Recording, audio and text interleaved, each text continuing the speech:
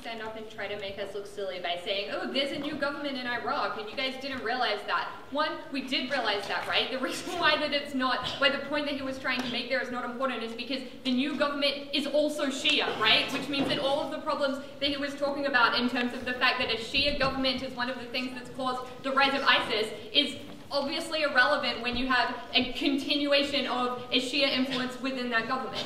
The next thing is that we think that the Iraqi government, as it stands, has shown that they are completely toothless and completely unable to fight ISIS as it currently stands. And that's why on our side of the house, we are proud to stand for an America that will stand up and help to bring about an end to the major crisis that we see unfolding at the moment. There are three things that I'm going to talk about in my speech today. The first one is the nature of this problem, why we think it's been mischaracterized by that side of the House, and why we think they are excessively optimistic about the ability to deal with this in any other way. The next thing I want to take a look at is the idea we had from that side of the House that we think uh, that they think Iraq is going to, over time, simply evolve into an autonomous entity. Why it is that they've provided absolutely no compelling narrative for how that will ever happen, and on our side of the House, we've given you instead a very compelling narrative for how we can bring bring about not an autonomous entity, but instead something that is a lot more peaceful and a lot more plausible. Finally, I want to take a look at why um, we think there is a major responsibility to intervene here um, and the principal justification that we're standing for on this side of the House. So to begin with, Marlena told you very clearly at the beginning of this debate that it is not viable to rely on the Peshmerga, right? She told you that there are nine, there are only 90,000 um, troops there, and it is absolutely false and like just a factual lie, which I can refute no other way, to when they stand up and say that there are double that number, right? Even if there are double that number, that is still like not an adequate number of troops to deal with a 6,000 mile border, which is what they're currently having to defend. Moreover, though, what we told you is that even, like, regardless of the number, they're also not particularly well trained, right? Why is that important? It's important because even if it means that sometimes they can like take back some areas using the amount of force that they do have, they don't necessarily have like the kind of strategic military capability to upscale into like a more um, into like a more strategic or a more widespread um, fight for, no thank you, um, for their areas. The other thing though is that we think it's incredibly problematic that their solution to deal with this, which relies on the Peshmerga, is simply to continue to pour arms into this kind of situation, right? We think that when you have huge ethnic tensions that are not going away anytime soon, and when you have like massive amounts of militarism already, we think that it's really bad to just like keep getting more and more arms floating around in the hands of the kinds of organizations that you're talking about instead of organizations like the United States military, who we think are like a little bit better and a little bit um, and a little bit more trustworthy in the way that they're going to hang on to those things. No, thank you. The final thing um, Sorry, the final thing though is that we think that a lot of those points are kind of conceded by that side of the house when they say that they're willing that they're willing to and they agree that it's necessary to go in and to use drone strikes and to continue these kinds of targeted strikes, right? The fact that they want to do anything at all like that concedes the fact that the Peshmerga cannot on their own be relied on to do this, and um, to do this kind of thing. So we think it's bizarre that they've rested so much of their case on relying on them. No, thank you. The next thing that we want to tell, um, the next thing moreover though, so that's why we think that like the nature of Peshmerga is such that we cannot rely on them.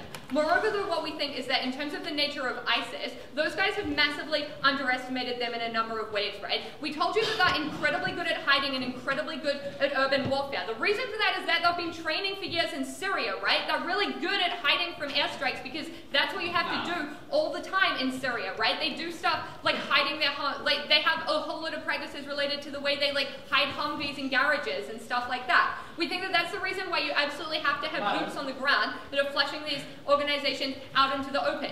Yes, obviously it's going to be regrettable if they're, like, sorry, obviously we're not necessarily going to be, like, invading Syria as well, and therefore we can't on our side of the house take on the burden of entirely decimating ISIS in its entirety, but we think if we can completely flush it out of Iraq, if we can get it back over the border so that it's only in Syria, we can start to rebuild an Iraq that is a lot more stable um, in the long term, and we're really um, proud proud to stand by that. No, thank you. What I want to move on to now is the idea of the idea that this side of the House put forward of Iraq just kind of organically evolving into an autonomous entity, which is apparently what they think is going to happen if we just leave the status quo to play out. Here's the reasons why we don't think that's a very plausible narrative. I'll take you in a minute.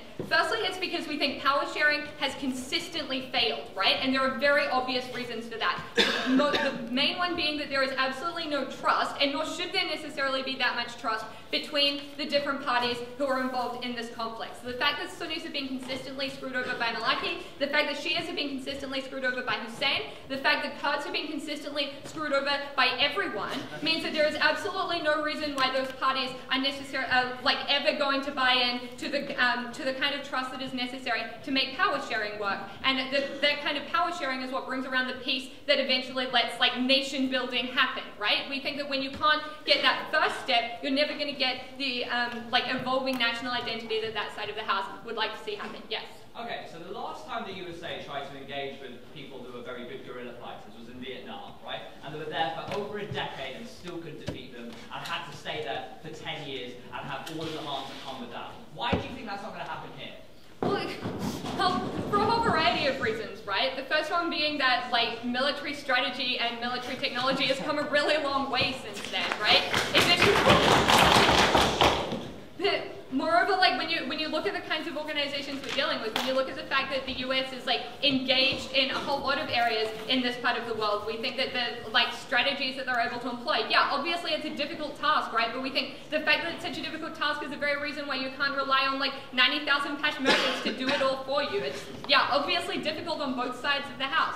Moreover, though, what we think, if we take a look at how best we start to try to overcome the lack of trust um, that we see between these parties, it's going to bring about um, the kind of long, longer lasting peace that that side of the house want to see. We think the beauty of our solution, right, is that you don't need to wait for the evolution of that coherent and like national identity, right? You don't need to wait for Iraq to become an autonomous entity. You accept the fact that it's never going to be one and that it's like just a quirk of the arbitrariness of map drawing and history that it is one at the moment.